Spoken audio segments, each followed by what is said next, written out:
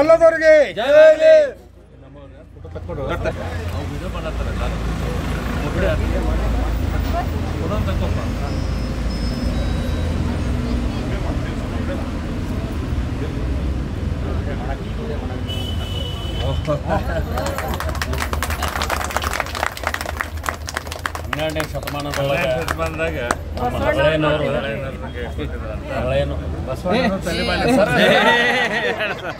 ಹಳೆಯನವರು ಮತ್ತು ಅವರ ಧರ್ಮಪತ್ನಿ ಕಲ್ಯಾಣಮ್ಮನವರು ತಮ್ಮ ತೊಡೆಯ ಚರ್ಮ ತೆಗೆದು ಅವರಿಗೆ ಪಾದರಕ್ಷೆ ಮಾಡಿಕೊಟ್ಟಿದ್ರು ಸರ್.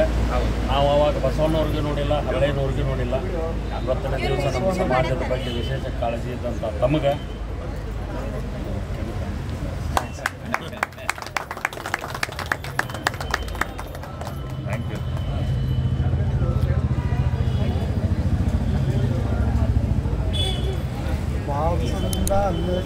ಹನ್ನೆರಡನೇ ಶತಮಾನ ನಮ್ಮ ಕಣ್ ಮುಂದೆ ಬಂದಂಗ ಹೇಳ್ತಿದ್ರ ಮಾತ. ಈಗ ನೋಡ್ದಂಗ